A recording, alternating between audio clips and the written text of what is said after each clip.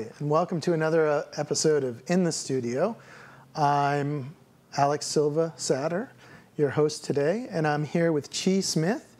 And Chi is a refugee from Vietnam. Uh, she's been here since uh, 13? 1975. 1975. Yeah. She fled right, uh, literally on a helicopter at one point, right? Yeah, Uh, from Vietnam. Perhaps you're familiar with those images uh, from the documentaries and stuff. Um, and she's here to tell us a little bit today about what it was like um, growing up in Vietnam and uh, how things sort of deteriorated.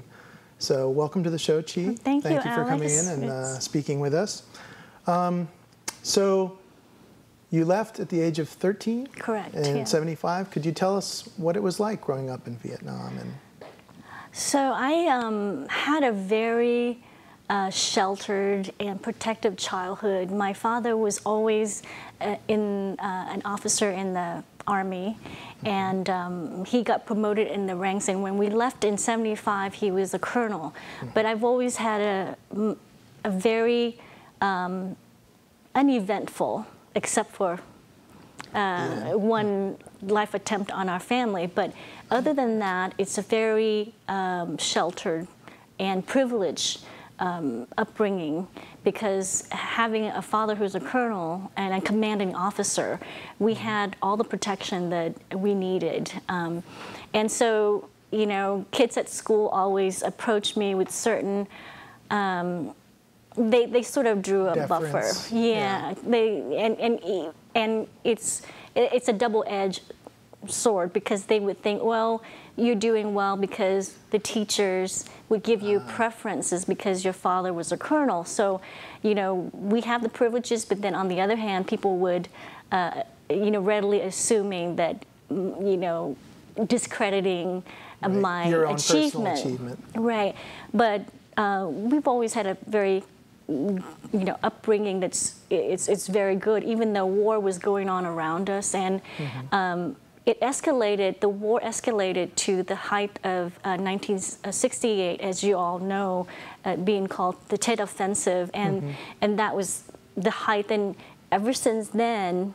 Um, you know, we suffer a lot of shelling at night, not during the day, but at night. So our bedroom was a sheltered bedroom, a bomb shelter. And you, you wouldn't know it but, but by looking at it, but it would have sandbags in the wall and then steel plates on each side and the, the ceiling was the same way.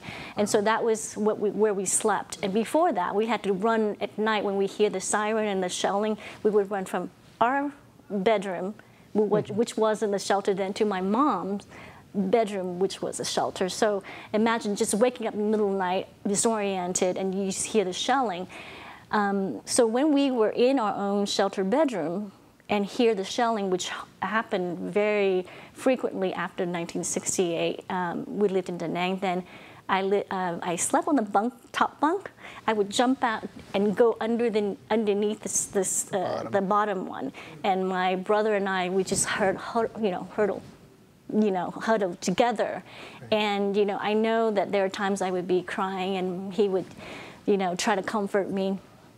Um, so it's very, you know, we normalize war because we grew up during wartime. That was what, all we knew. So then wake up in the morning, woke up in the morning, and life was as usual. Get dressed, went to school, and life as usual.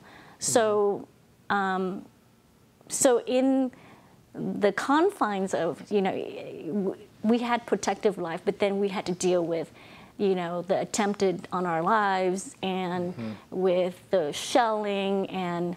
Uh, my father, when he came home, he never had a scheduled, regular visit home.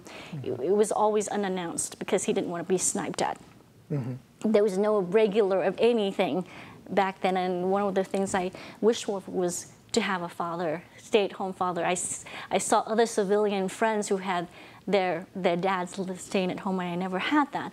But so going from that, um, so any so the war escalated, and um, March 28th, 1975, um, my mom, she had, she's very astute, and she listened to what's going on around her, and of course with my dad um, advice, she packed up all of our things and things that oh don't use that because we're saving it for you know good occasions or whatever. So all those things were packed up, ready to go. March 28th, we're supposed to go um, to the helipad and having our family from there to the shipyard where we're going to board the ship to go to our hometown Nha Trang. Just we're basically Further south in Vietnam. Yeah, so we're traveling down the coast basically. Um, but you know that was actually too late because a lot of the refugees are moving south from way and and northern um, cities and provinces. So they jammed the street, and so it took forever for us to go from our home to the helipad, and that was the first time I saw chaos, and uh, you know kids. I mean, and I didn't see the dead bodies, but my, my older siblings did, and they would cover our eyes. They didn't want us to see it because there's a lot of refugee coming south. It was chaos. It was uh, kids playing in the traffic light booths, and so it was there was no law and order by then. So we finally got to the helipad that was supposed to be reserved for the colonel's family, where there were people on there already. So our people had to kind of get them off, and then we climb on there. And that was the first time I witnessed anything remotely, um, you know, warlike, because it's just until that point, I lived a pretty safe, protective life. So the helicopter took us to the shipyard, but by then there was thousands of people there, and I don't know how they even beat us there, but they were there, and from there we could just feel our lives changing drastically because we didn't have enough food or water. We waited from the morning to night, and then the ship was supposed to come in that night, and so we didn't have a sh- we didn't have shelter, so we were just sitting outside of the buildings. And then a soldier was kind enough to say, "Oh, here, this is the office," so we went in there. And then that late at night, the shelling started, con- you know, uh, um, we could hear it, Coming. the whistling coming in, and you can hear the impact of it hitting. And uh, again, the soldier, another soldier came in and, like a guardian angel, got us to leave and say to my dad, you know, the ship is here. It's time for you to move. And so imagine all nine of us, you know, so you that's nine all. people in your family. So my parents and the seven kids, and we're just like moving along other people, and then we stepped on other people. Other people stepped on us. We got hit, and my poor little sister Hong Cho. My dad had a little Samsonite, uh, a hard shell Samsonite case, and he was running with her. So it, every time they they ran together, it would hit her, and she would cry because you know it Right, hurt. and then of course I lost my shoe.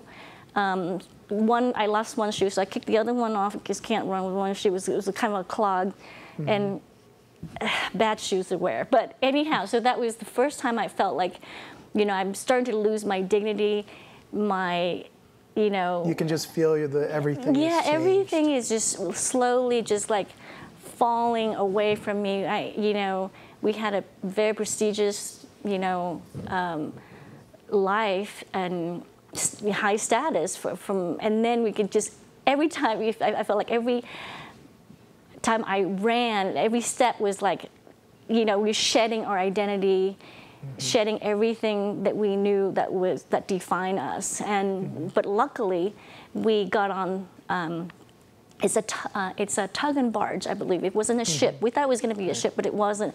So we finally got on there. All of, I mean, imagine having nine of us, and the littlest one was 5 and she didn't want to get through the cables. And so we had to shove her on there, and she cried like crazy. But anyway, so I mean, there's a there's a chasm between the boat and the deck, right? Mm-hmm. So if we fell, it's a long way. There's no return if you fell on that, and it's dark. It was supposed to be full moon, but you know we couldn't see anything around us. You know, just we. My dad would call our name, and that's how he got all of us. You know, instead of visual, it was just calling our names. Anyhow, we got on there, and that was the beginning of our journey. Um, just to make the journey sh- short because you can read the, the book later and get the details. But from there, we go from uh, so the tug and barge to the naval ship the next day. They would get us, um, and then from there we'd go on a truck, and from there we would uh, go and you know have some rest, you know, day rest, and then we would way yeah. and- So exactly, just follow the coastline. So Vietnam is a S shape, and it's like the size of California in totality, north Ah. and south, and so that kind of gives you an idea. sense of the scale. Yeah. So you're working your way all the way down. yeah, just think of it as an fishing S. boat, by truck, by however you yeah. can get. So one at one point it was four days on a sh- on a fishing boat, and we there was no space to sleep. We just slept on, you know, fishing nets and whatever, Mm-hmm. and so from there with various other transportations and trips, we finally were able to leave Vietnam uh, April 25th. That was five days before the fall of Saigon, um, and then and then making our way to America. So we went from, you know, a very protective, prestigious life to starting at the bottom, social, mm-hmm. social economic uh, bottom rung. And but we were we were very grateful and we were very happy, mm-hmm. and we knew that because we have our dignity and our freedom, and our health and our whole family, except for the two brothers who were stuck behind um, that we would we would take any job, you know, just to advance ourselves. And, and education was our ticket out of poverty. And that experience, knowing that things were, that you had lost that much and that, that other people had it worse, did that help you? Um, and Absolutely. as in America, obviously, you had difficulties, you know, growing up here Yeah. with the prejudice and things. So, what kind of strength were you able to draw from that experience that helped you get through the difficulties right. here? That's a great question. So, um, my mom was the kind of person that other refugees back home, it, you know, so.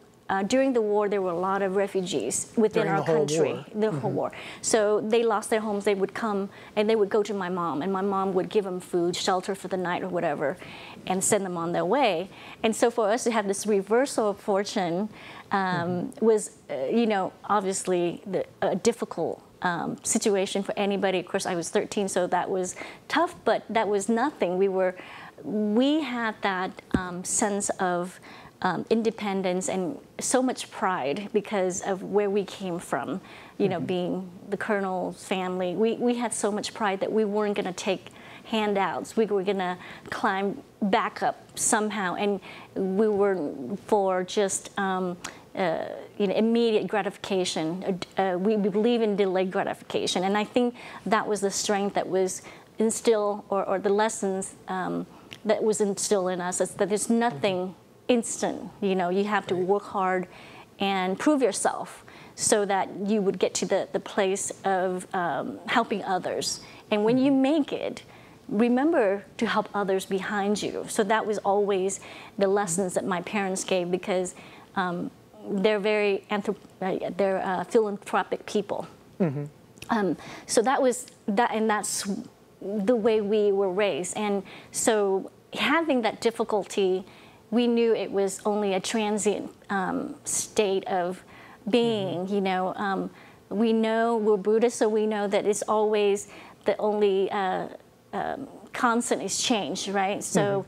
Um, knowing that really helps us. So when you, even though when we're in a hard, difficult place without, you know, uh, our, our cultural identity, our social, economic, you know, all of that was stripped away. But we knew that if we would just hang in there and be patient, um, the constant change, Would come yeah, that that state of mind helps us to navigate forward.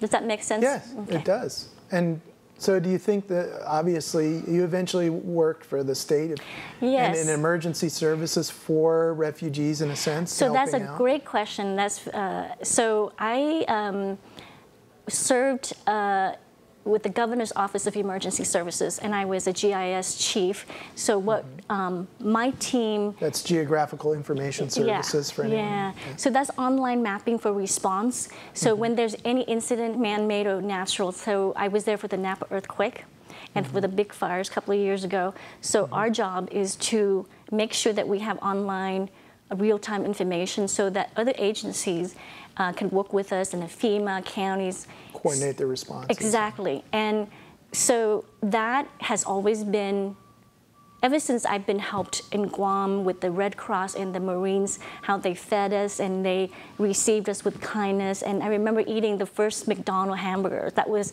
the greatest. And I thought, you know, when you're hungry and tired and cold, and they give us blankets and pillows and, and treat us with, you know, kindness, and we our dignity was intact.